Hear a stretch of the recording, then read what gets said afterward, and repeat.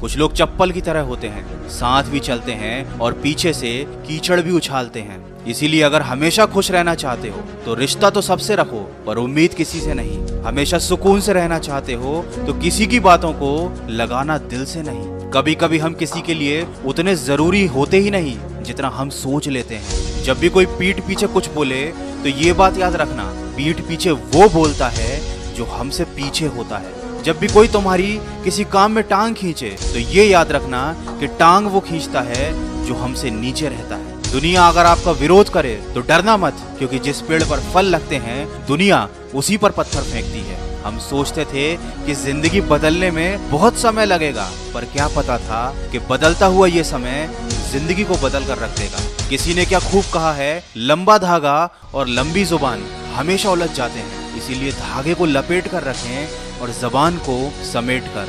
ज़िंदगी का एक सीधा सा गणित रखो, जहाँ कदर नहीं, वहाँ जाना नहीं, जो पचता नहीं, वह खाना नहीं।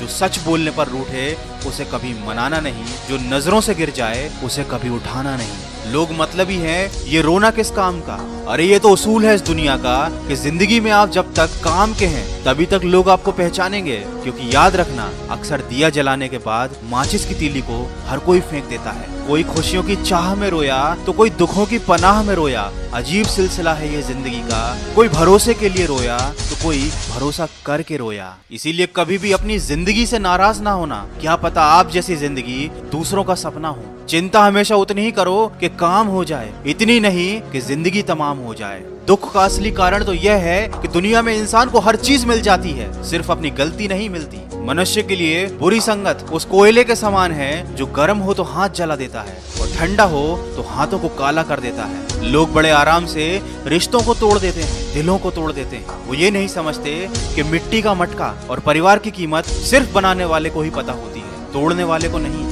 वीडियो के अंत में बस इतना कहना चाहूँगा, ज़िंदगी में अगर सफल होना है तो ये याद रखना, तुम्हें काम उसी नसीहत पर करना है, जो तुम दूसरों को देते हो। पानी में गिरने से कभी किसी की जान नहीं जाती। जान तब जाती है जब उसे तैरना नहीं आता। ठीक उसी तरह परिस्थितियाँ भी कभी समस्या नहीं बनती। समस्या तो जीवन में तब बनती है जब हमें उन परिस्थितियों से ठीक तरह से निपटना नहीं आता। इसलिए हमेशा खुश रहें, मुस्कुराते रहें, क्योंकि आप भी नहीं जानते कि आपकी ये ज़िंदगी कितनी बाकी है। और हमेशा अपने जीवन में आगे बढ़ते रहें, क्योंकि कमज़ोर तो तब रुकते हैं जब वो थक जाते हैं, लेकिन विजेता तब रुकते हैं जब वो जीत जाते हैं। अगर इस वीडियो में कही गई बातों ने आपके दिल को छुआ है तो इसको ज़्यादा से ज़्यादा शेयर करके हमारे